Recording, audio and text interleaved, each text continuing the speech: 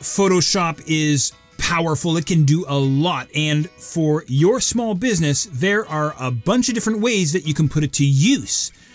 Just what is Photoshop capable of and how can you get the most out of it for your business? Well, that's what it's all about here today. How are things going, my friend? This is Geoff from tentononline.com where I help business owners untangle the web so they can build and grow their projects themselves.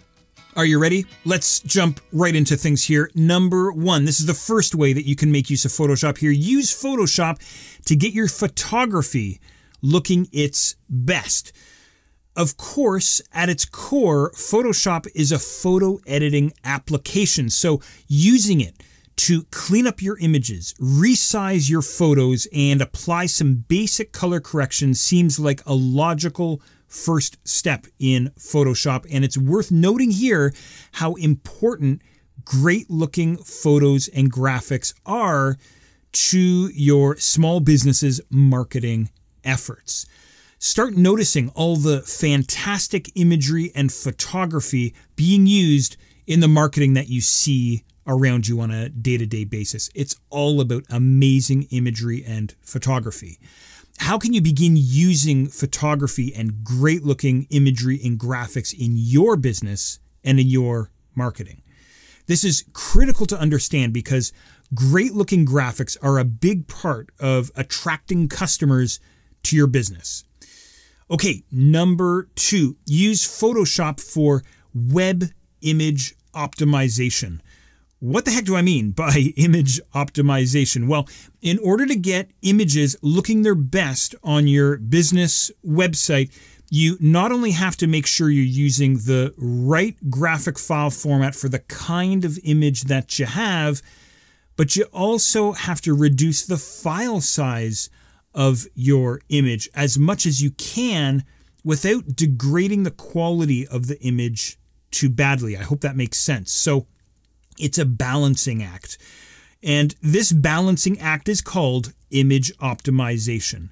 I have a few posts that relate to this topic, so I'll link up to them for you down below in the show notes if you're interested.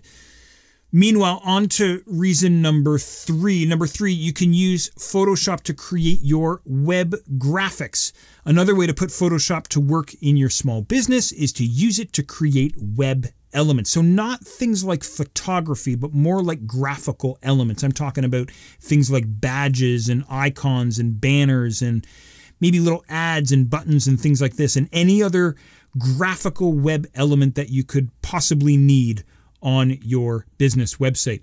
You can either create these sorts of materials and graphical elements from scratch yourself, that's perfectly fine, or you can use Photoshop to edit existing web icon templates and graphics and visual elements. And of course, once you've created your web graphics for your site, you can use Photoshop to optimize your images to ensure your graphic components look great on your site. We just talked about this image optimization issue. All right, number four, use Photoshop to handle your social media graphics in a similar way to using Photoshop to handle and create graphical elements for your website, you can also use Photoshop for all of your social media graphics. So, this includes your social media avatar images, your banner or header graphics that you might need, and so on. And this also includes images that you might want to include in the posts that you make on the different social media platforms that you may be active on whatever graphics you might need for your social media channels, Photoshop can very, very easily handle it all for you.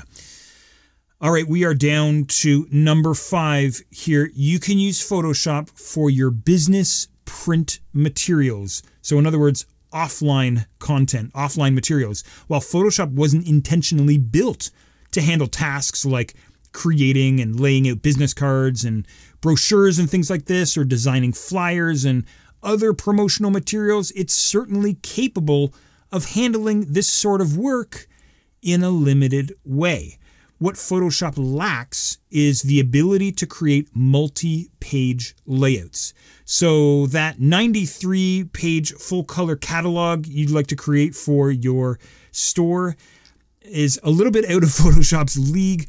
A program like InDesign is much better suited to a task like that. But a single or even a double sided layout is certainly doable and within Photoshop's capabilities. So make sure to leverage Photoshop in the right way for your business print layout needs. Now, I'm sure the big question on your mind is where do you go from here? What are the next steps? Well, head over to tentononline.com forward slash Photoshop, where I have the next steps all mapped out for you. I will see you there.